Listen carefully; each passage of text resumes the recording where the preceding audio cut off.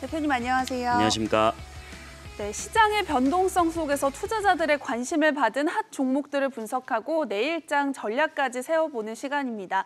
시작에 앞서서 지난 방송에서 주목할 만한 보안 관련주죠. 드림 시큐리티를 언급해 주셨는데 조정장에서도 상승 흐름을 보여주는 모습이었어요. 오늘도 좀 정확한 종목 진단 기대해 봐도 될까요? 네, 오늘도 시장은 꽤 안 좋기는 했었는데 네. 그래도 제가 고심하고 고심해가지고 좀 좋은 종목을 가져왔습니다. 그렇기 때문에 오늘 좀 기대해 주셔도 좋고 사실 드림 시큐리티도 우리가 이제 수요일 방송이었으니까 네. 장 마감하고 내일 이제 만약에 시초가를 대비를 했다라고 하면은 네. 오늘도 좀 장 대비해서는 꽤 좋은 음. 모습들을 보였는데 오늘도 좀 기대해 보셔도 좋을 것 같습니다.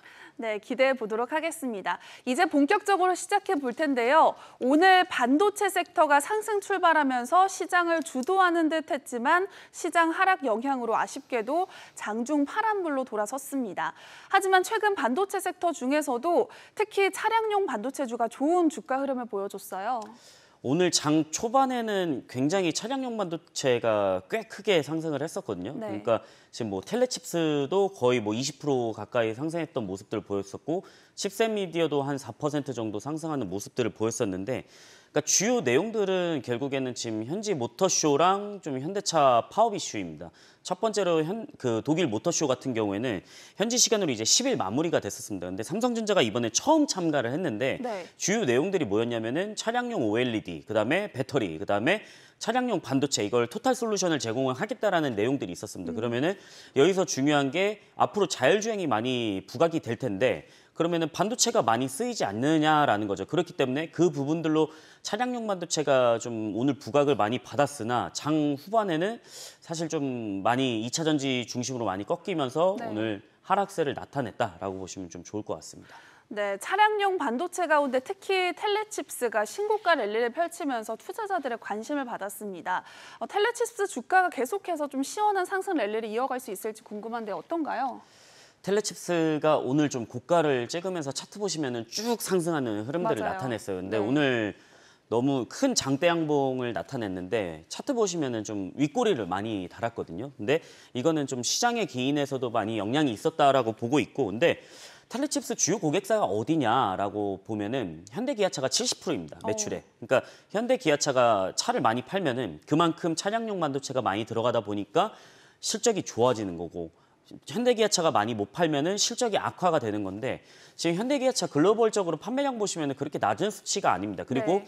전체 판매 비중의 40%가 이제 미국에 있습니다. 그러면은 미국에서 지금 내연기관차가 그래도 대세이기는 한데 물론 미래는 전기차겠죠. 근데 지금 내연기관차 굉장히 잘 팔고 있습니다. 그리고 어, 기아차 프리미엄 모델 제외하고 모든 모델에 텔레칩스 AP 반도체가 적용이 되고 있습니다. 그렇기 때문에 현대기아차가 이번에 파업 이슈가 좀 끝났기 때문에 이 부분에 대해서 좀 생산도 차질이 없이 될 거라고 생각을 하고 있고 그다음에 중요한 거는 뭐였냐면은 결국 차량용 반도체는 어, 자율주행 차랑 연관이 굉장히 큰데 지금 테슬라가 그 슈퍼컴퓨터 도조를 이용해 가지고 FSD 11을 출시를 하겠다라는 걸 밝혔죠. 네. 이거는 베타 버전이 아니고 정식 출시입니다. 그러면은 베타 버전이 아니고 정식 출시에서 FSD V12 같은 경우에는 성공적으로 런칭을 한다라고 했을 때는 한 번 더 차량용 반도체에 대한 부각을 많이 받을 수 있다. 그래서 조정 시에는 한번 주목해 보셔라라고 말씀을 좀 드리겠습니다.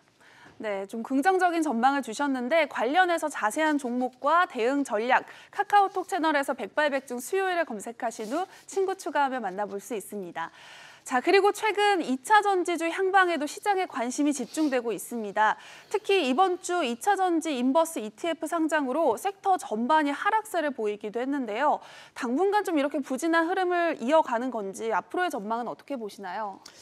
어, 국내에서 2차 전지 인버스가 처음으로 이제 등장을 했었습니다. 이게 뭐 말도 많고 탈도 많은데 네. 개인 투자자분들은 사실 그렇게 좋은 시선을 가질 수는 없겠죠. 왜냐하면 2차 전지에 많은 종목들을 투자하신 분들도 많을 테고인데 이게 KB자산운용에서 이제 출시한 상품이거든요. 이게 다 상품입니다. 근데 인버스인데 역추종하는 겁니다. 한 배 역추종을 해가지고 이 종목들을 다 취합을 해가지고 이 종목을 피- 평균화해서 이게 예를 들어서 1%가 떨어지게 되면은 이거는 1% 수익을 보는 거겠죠. 네. 그래서 반대로 간다라고 좀 보시면 좋을 것 같고 에코프로가 이제 100만 원이 좀 깨진 상황입니다. 근데 저는 어느 정도 매물소화 과정은 필요하다라고 생각을 하고 있고 근데 지금 좀 2차 전지에 그 하락 트리거가 생겼던 게 뭐냐면은 중국은 탄산 리튬을 쓰는데 탄산 리튬 같은 경우는 지금 원래 2020년도 톤당 5천 달러 기록을 했었는데 2021년도에 이게 굉장히 많이 올랐었죠. 네. 톤당 4만 달러까지 돌파를 했었는데 그러니까 과잉 생산을 하다 보니까 좀 수요 대비해서 공급이 좀 많다라고 생각이 들어서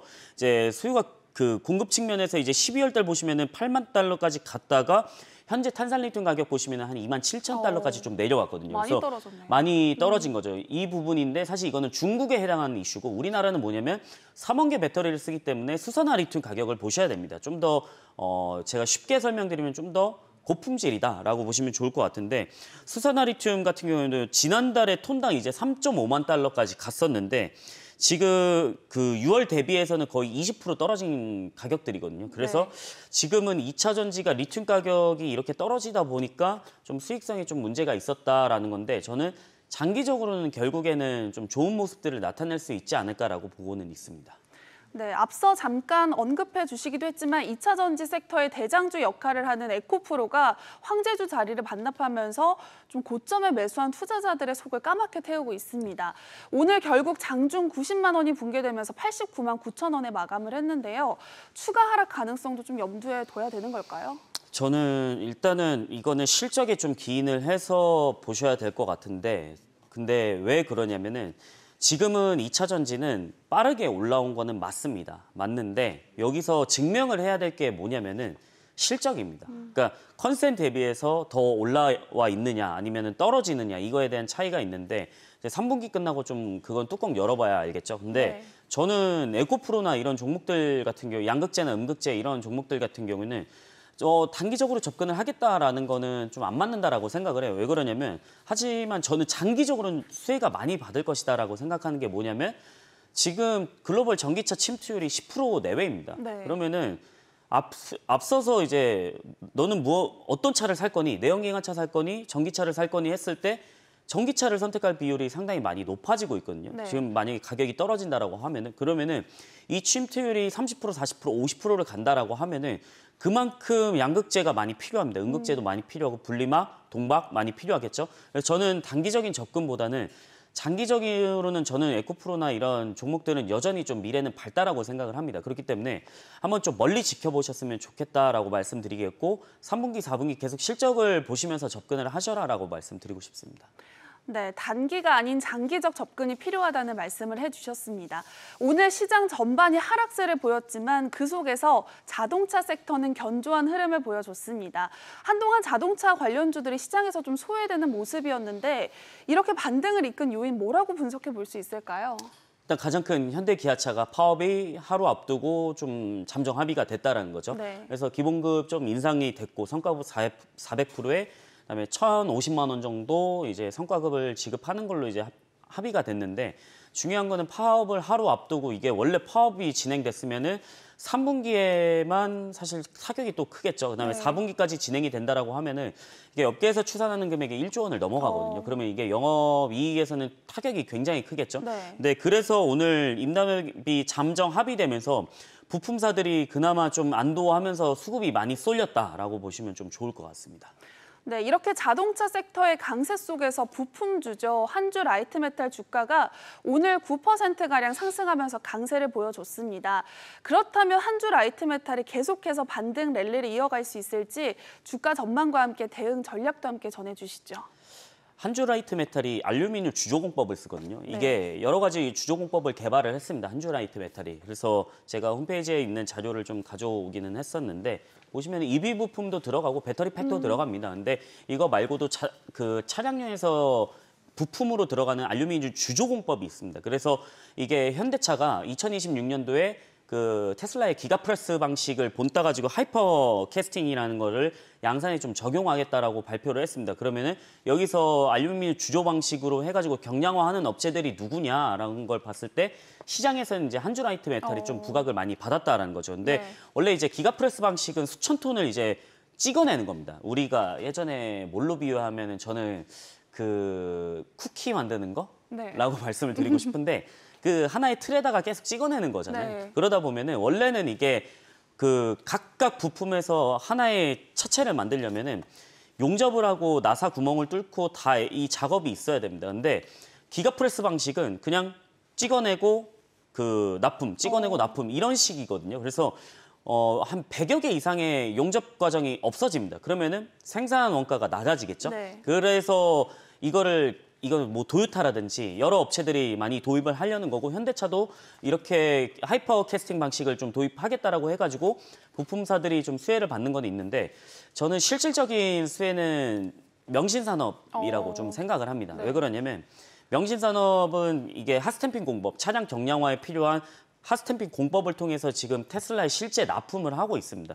그래서 그 미국 법인 보시면은 북미 심원이 있고요. 그다음에 미국 심원이 있습니다. 이게 둘 다 어디 있냐면 프리몬트 공장, 테슬라 프리몬트 공장 근처에 있고 이게 네. 캘리포니아 쪽에 있습니다. 그다음에 텍사스 쪽에 있습니다. 근데 테슬라 공장 보시면은 기가 베를린, 기가 상하이, 기가 텍사스, 프리몬트 공장 이렇게 네개 운영이 되고 있는데 어, 그 두 개의 미국 공장에 실제로 납품을 하고 있다라는 어. 거죠. 그래서 저는 실제 수혜는 또 명신 산업이 될 수 있지 않을까라고 말씀을 좀 드리고 싶습니다. 네, 한영희 대표님의 의견 참고하시기 바라고요. 투자의 최종 판단과 책임은 투자자 본인에게 있다는 점 기억하시고 자신의 원칙에 맞춰서 성공 투자하시기 바랍니다.